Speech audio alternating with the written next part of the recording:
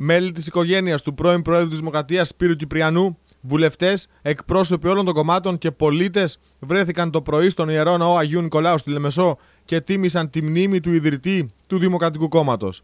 Γεννημένος το 1932 στη Λεμεσό, ο Σπύρος Κυπριανού διατέλεσε πρόεδρος της Κυπριακής Δημοκρατίας για 11 χρόνια από το 1977 μέχρι το 1988. Απεβίωσε το απόγευμα της 12η Μαρτίου 2002.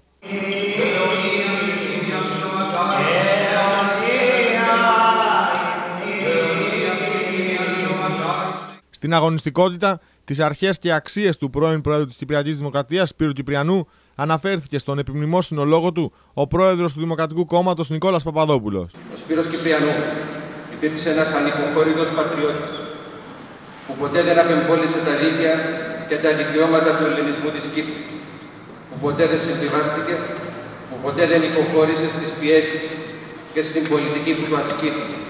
Μετά το μνημόσυνο τελέστηκε τρισάγιο στον τάφο του αείμνη του Σπύρου Κυπριανούς στο κημητήριο Αγίου Νικολάου.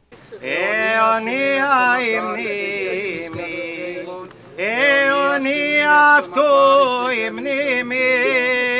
Εκ μέρους του Προέδρου της Δημοκρατίας Νίκο Αναστασιάδη, Στεφάνη κατέθεσε ο Υπουργός Άμυνας Φώτης Φωτίου. Στεφάνια κατέθεσαν επίσης εκπρόσωποι όλων των κομμάτων, φορέων και οργανώσεων.